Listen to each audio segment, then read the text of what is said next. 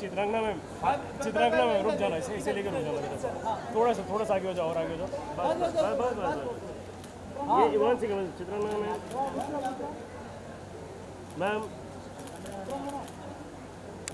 Ma'am ma'am इधर इधर ma'am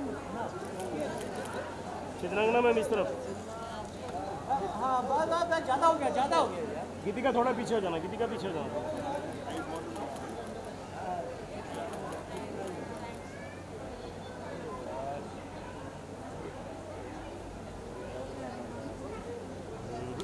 खड़े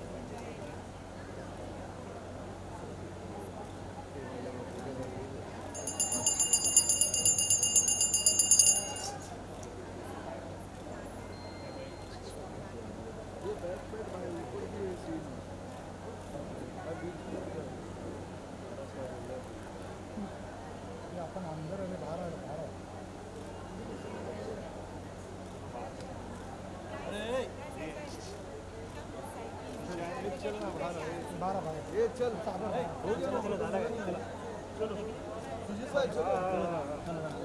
बाहेर सुजित दादा बाहेर सुजीत एक second so sorry. I'm so sorry. You're getting into the stage. Please, आप इधर आ जाइए. Please. चल दादा ऊपर चल दादा चल बाहर निकल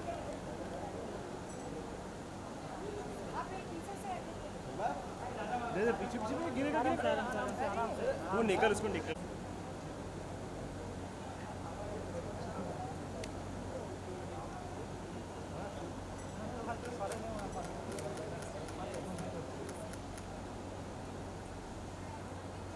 एक एक करके मैं थोड़ा सा और पीछे। थोड़ा सा पीछे। तो मिलना तो चाहिए तो थोड़ा थोड़ा सा या फिर चित्रांगना में एक बार यहाँ पे यहाँ पे चित्रांगना में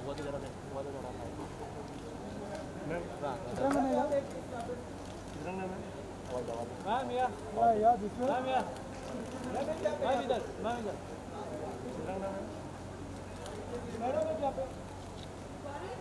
में की बहुत बहुत शुभकामनाएँ। आपको भी बहुत बहुत शुभकामनाएँ। बहुत ही महत्व वाला दिन रहता है अष्टमी जी, आज जी। आप यहाँ ही किस अ, अ, क्या खींच लाया आपको? एक तो ना पहले मैं कभी यहाँ पे आई नहीं हूँ। मैंने मैंने सुना है इस पंडाल के बारे में और ये 89 इयर्स ओल्ड है। अ, और एक फेस्टिवल सीज़न है। कभी ऐसा होता है बहुत बार टाइम नहीं मिलता आपको कहीं आने के लिए या ये कोई मोमेंट करने के लिए। सो आई थिंक इसी वजह से मैं आई एंड मुझे गीतिका ने जो मतलब you know my manager here she told me कि ये 89 इयर्स ओल्ड है एंड uh, बहुत ज़्यादा ट्रेडिशन है इस इस जगह में यू नो एंड इसलिए मतलब मेरे को भी गीतिका नहीं बताया कि मतलब आप कभी नहीं आए यहाँ पहले? नहीं नहीं हाँ, नहीं मैं भी आपके पीछे ही आएँगे ना? हाउ कैन आई अदरवाइज़ आप कभी नहीं आए? नहीं नहीं but I think it's we had also the good chance privilege to be here with you. चलो I hope I hope Devi आपको ब्लेस करे and you know we all are blessed by है है जी जी। ये भी एक आई थिंक बहुत इंपॉर्टेंट चीज़ है नहीं? हम लोग हमेशा जब गणेश विसर्जन होता है हम सब बात करते हैं।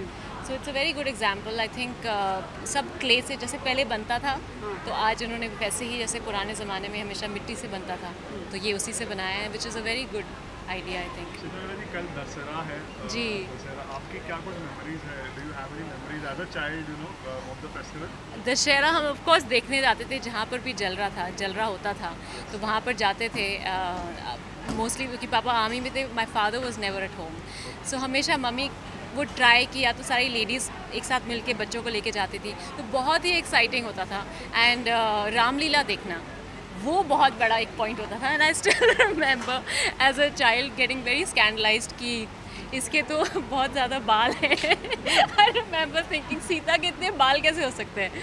So you know those are very like fun I think हम सब की वो चाइल्डहुड मेमोरीज हैं of you know having gone to the Ramlila the first time and so या वो पूरा एक फेस्टिवल सीज़न शुरू हो जाता है रामलीला से। एंड चित्रांगदा जी क्योंकि uh, मैं आपसे जानना चाहूँगा आपने कई जगह पर इंटरव्यू दिया इसलिए मैं भी इसलिए आया हूँ। आपको नहीं लगता कि जो बाबू मुसार बाज के जो डायरेक्टर हैं उनके ऊपर लीगल एक्शन लेना चाहिए? आपको क्योंकि जिस तरह से जी। आपने भी बताया जी। कि गलत हुआ अगर एक्चुअल में हुआ तो आपको नहीं लगता कि एक्शन लिया जाना सी लीगल एक्शन मैं बिल्कुल नहीं लेना चाहती और ऐसा मेरा कोई अ, असल में कोई इंटेंशन नहीं था। लेकिन एक चीज़ जो गलत हुई जब मुझसे पूछा गया और अ, क्योंकि जो प्रोड्यूसर्स थे उन्होंने कोई और कहानी जाके मीडिया को सुनाई थी। ट्वेंटी सिक्सटीन की बात कर रही हूँ मैं। तो इसलिए मुझे आगे आकर अपने आप को एक्सप्लेन करना पड़ा उस समय। एंड आई थिंक अभी क्योंकि ये मूवमेंट शुरू हुआ है तो फिर से वो बात उठ उठ गई थी तो इसलिए मैंने फिर से एक्सप्लेन किया। लेकिन अम, मेरे से बहुत ज़्यादा और डिफ़िकल्ट केसेस हुए हैं लोगों के यू you नो know, मुझसे कहीं ज़्यादा प्रॉब्लम्स uh, हुई हैं यू नो गर्ल्स को।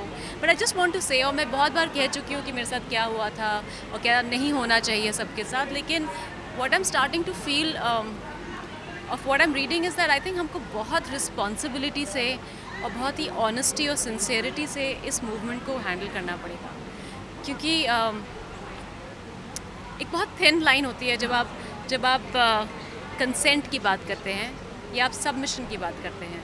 तो कहाँ वो फोर्सफुल था कहाँ वो नहीं था कहाँ वो अपने आप एक तरह का एक अंडरस्टैंडिंग थी you know whatever it is I think हमको एक बहुत ऑनेस्टली उस चीज़ को देखना पड़ेगा एंड इसको हम किसी तरह से अब्यूज़ ना करें। I mean I just hope and that's how I think the movement will remain alive you know corrective measures जो लिए जा रहे हैं वो ठीक हैं? You know I am so happy वो करेक्टिव मेजर्स लिए जा रहे हैं क्योंकि कहीं ना कहीं I think we are all trying to be right एक एक मतलब it's very inspiring to see कि ऐसे चेंजेस हो रहे हैं सोसाइटी में जहाँ पे सच का साथ दिया जा रहा है या सही का साथ दिया जा रहा है। So it's a very good thing या जैसे ऐड करना था मुझे एक कंटिन्यूटी टूट जाती है वरना mister Akshay Kumar coming up mister Aamir Khan coming up they are taking a stand and probably जहाँ तक हमें मालूम चला someone didn't took stand for you so ये चीज़ें अब ठीक हो रही हैं आपको इसके ऊपर आप कैसे बोलेंगे? You know I I don't want to blame Nawaz entirely मैं उसको त, मतलब हर, मैं उनको इतना ब्लेम नहीं करती हूँ क्योंकि क्या होता है ना समटाइम्स उनको शायद पता नहीं था कि शायद मुझे कितना बुरा लगा या कितना ख़राब लगा। हो सकता है उनके अपने कोई रीजंस हों। So I am not pointing a finger at him but I I was only saying जब मुझसे इंटरव्यू में पूछा गया तो मैंने सिर्फ़, उन्होंने मुझे पूछा, और कौन था सेट पे? तो आई सेड नवाज़ भी थे एंड बाकी सब बहुत लोग थे। सो दे सेड उन्होंने कुछ कहा। I said see he didn't say much at that point that's all I am not blaming him you know I mean वो उनका अपना अपना डिसीज़न है. But all am saying right now is that जैसे Aamir Khan and Akshay and and a lot of other people are coming I think is very important जब important लोग and powerful लोग they take a stand तो वो एक तरह से example बनता है for society so that's a very good thing या Yeah, I was about to ask you that. Do you think more people from the film industry should be speaking up about it? Uh, like, yeah, yes, Amir has spoken, yes, Ritik has spoken, but also they have spoken only because their film was kind of in like related, you know, to it. But apart from them, there are a lot of people who still haven't spoken. Um, do you th- and plus like talent management agency like Quan is also uh, mm-hmm. in uh, like it's, it's in talks now for this yeah. particular these cases. Do you I think more people should come out, which will help this movement uh, eventually? I honestly मुझको ऐसा लगता है कि already बहुत लोग support कर रहे हैं। हर चेंज को और सपोर्ट को थोड़ा टाइम लगता है गैदर होने में।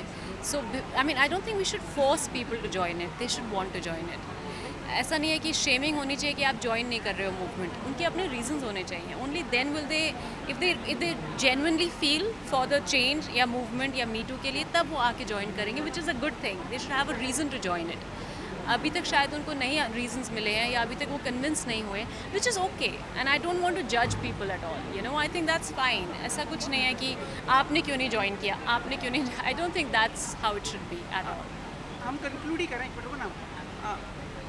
क्लाइमेक्स अच्छा होना चाहिए।